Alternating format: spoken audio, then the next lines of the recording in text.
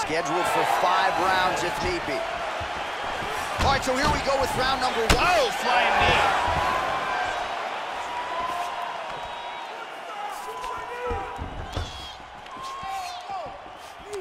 Works the double underhooks here. Cannot get it. Pummels out of double underhooks here. He's got the double.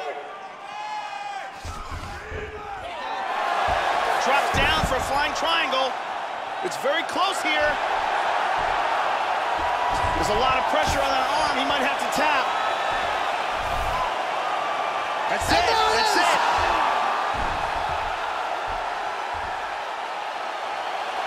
Great job in getting this fight to the ground quickly and getting an early submission.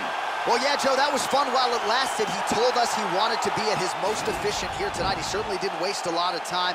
He knew he wanted to get the fight to the ground. He gets the early takedown, and the submission follows shortly thereafter. And one last time, super tight choke, and he's out.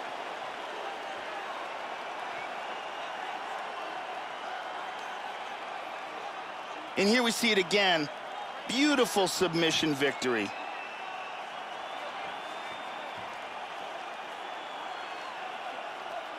So there he is, ladies and gentlemen, the man they are all chasing at 205 pounds, the UFC light heavyweight champion, and what a way to get the job done tonight with a submission victory.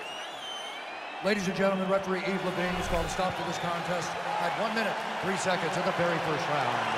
For the winner by submission, and still the undisputed UFC light heavyweight champion of the world, the King! Well, he came into this fight as the unquestioned best at 205 pounds.